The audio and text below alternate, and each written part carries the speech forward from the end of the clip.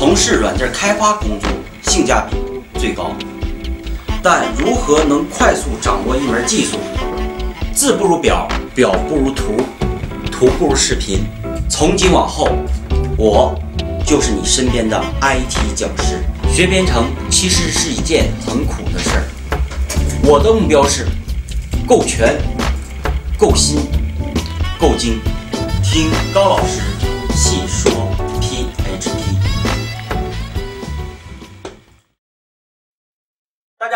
是熊联的讲师高洛峰。大家好，我是妹子。妹子，咱们用这三者配合，说能变成一个数组，对不对？咱们前边两个函数已经说完了，外循环就是前面讲过的。那这节课的内容，咱们就是让这三个怎么配合起来，对吧？那首先咱们来让 while 循环和 h 去配合，好吧？嗯。while 循环用 h 配合，那怎么配合呢？while 循环这个括号里边写的是什么？这 while 循环写的？对，是不是就是一个布尔型的表达式啊？啊，那如果我们这么写，你看一下，我把上节课咱们这个数组拿过来，还记得那数组吧？记得。啊，里边就有简单的几个元素而已，看到了吧？嗯。啊，现在我想怎么处理呢？这里边如果条件是假，它就不循环了，是不是这意思啊？那想象一下，我如果这里边使用 e c h h dollar for a r r 返回来的是一个什么？比如说，我就随便起一个临时的变量 tmp，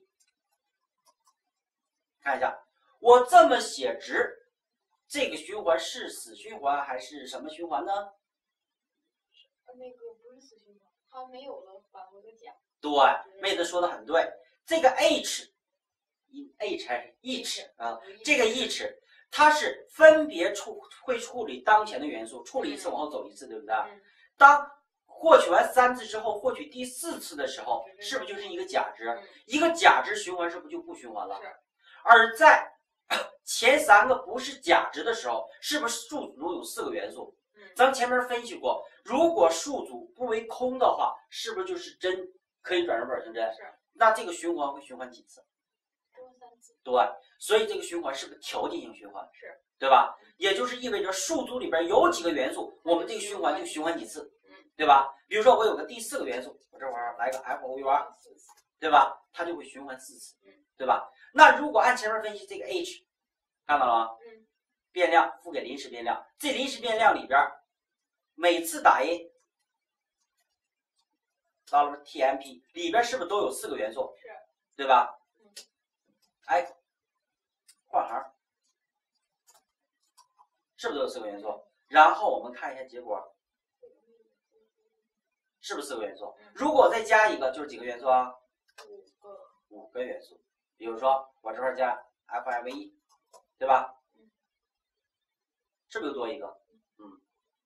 循环 h 是不是就配合上了？嗯。那我现在想输出每一个的键和值，现在我就可以变成数组了，怎么办呢？你看，echo 不用 for h 了，咱是用这个便利呢，对不对？里边是不是一个数组？那我想获取下标的话，dollar for a r 中号这里边可不可以写下标？是不是有两个值的代表？k 能不能代表下标？可以，可以吧？然后对应的值，dollar for a r 什么？v 流是不是对应值啊，不是 a r，这块谁啊？写错了，tmp 对吧？tmp 看一下，因为 tmp 每次返回是不是就四个元素？嗯有这个代表下边代表值吧？如果你喜欢处理关联数组，那我用这就可以获取关联数组和值了，对吧？如果你不喜欢关联数组，你喜欢使用索引数组，那么这里边固定什么下标为零，这个下标为一，你看是不是都可以获取？那我们来分别看一下，数变列出了 one 一二三，下标和值是不是全变列出来了？有没有点像 for h 那种表感觉？什么数组都能便利，下标和值都获取到了，而且我可很灵活，用索引数组的方式，关联数组是不是都可以获取下标？但这种结构怎么的，已经可以变列数组了。嗯。但是想象一下，有什么不足啊？是不是我在打印数据的时候，还是用到的数组这种结构啊？我能不能将数组结构这种干嘛呀？转成变量啊？那这个时候你就得借助于 list，嗯对不对？那 list 哦看到了吗？list 前面刚说过有几点呢？它的右边是一个数组，对，是现在 each 返回的是不是数组？是符合条件吗？啊，返回的是数组，对吧？each 返回是数组，然后你看这几个条件满不满足？有几个参数就记住了，它是不是四个数组有四个？然后再往下看，只能接收索引数组，each 返回来是不是两个索引两个关联？关联，对不对那只能接收索引的关联的是不要了，而且是从零开始的。嗯，那我如果在 list 的写两个变量，它接受两个变量，第一个接收索引数组的什么零的变量，第一个接收这个数组里边，这数组返回四个，这个接收零的变量是不是接收一的变量？零的变量是不是永远是键？一的变量是不是永远是值？嗯对吧？那能不能将键和值给我们转成什么？转成变量 h 输出 dollar for k e y，你看我操作是数组吗？不是吧？是不是就变量了？value 就是这么配合的，看到了吗？我们来输出一下，是不是同样的结果？嗯，这就是 list h 的一个配合，听着吧？嗯，那现在如果我不想，我就想要值不要键呢？还记得咱前面说过的吧？这可不可以省略啊？可以，可以省略，对不对？那我这块儿去掉，是不是就只接受整值了？嗯，也就是 for each 能做到的，是不是这个都能做到？嗯好，那我们来看一下，是不是出来了？嗯，对不对？但是它有一个弊端跟 for each 比，什么弊端呢？就是说，呃，for each 什么数都能变离，对不对？对也能连续变离。这个咱们说 h 有一个特点嘛，指针到结尾了就返回甲了，那我再循环一次，或者再循环一次，可以不？怎么的？就不可以了。为什么不可以呢？因为它已经将数组是不是到结尾了？每次这儿用返回甲，这儿返回甲，下边两个循环就根本都没执行，所以还是一个结果。可以把指针对，妹子有这种感觉，说指针能移回去，对不对？那怎么移呢？那就是咱们下节课的内容，好吧？那我这块儿可以简单给你一下，reset，只要放那个数组，就能将数组的指针移回去，听着吗？那我们先移动一下，是不是两次？嗯，那我在这个再移回去，reset 重设指针嘛，对不对？其实是下节课的内容，先说一下，是不是就可以了？嗯，把数组的指针咱们可以移动回去了，这就是第三者的配合。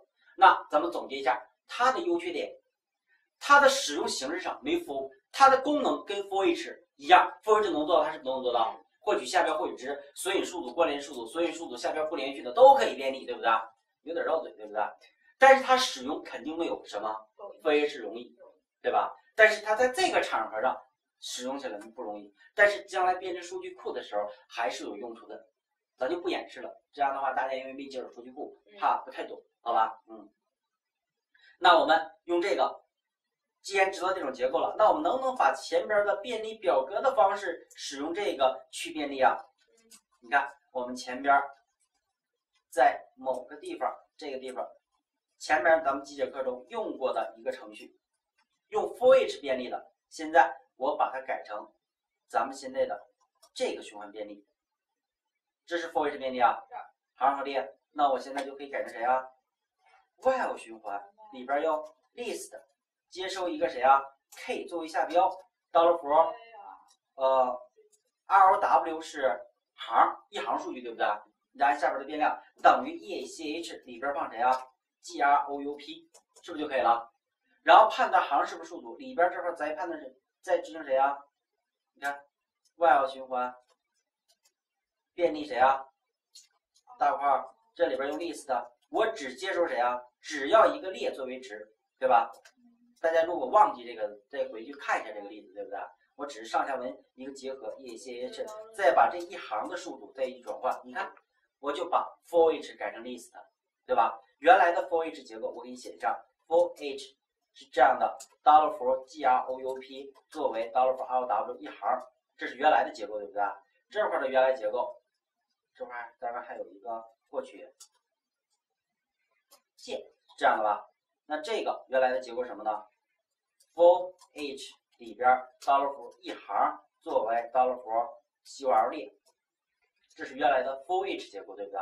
我现在用 while 改写的，我们看一下结果可不可以呢？是不是跟咱 for each 便利一样的啊？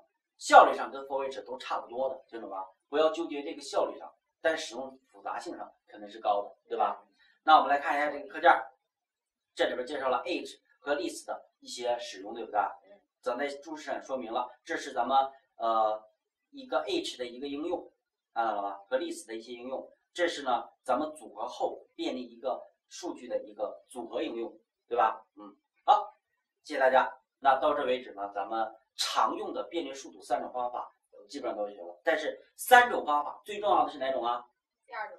对，for each，对吧？for each，for each。便利数组的方式是比较常用的，对吧？但是 for 循环和 while list 呃这种循环结构呢，也是能见到的，嗯。但是大家把重点放在 for each 上，对吧？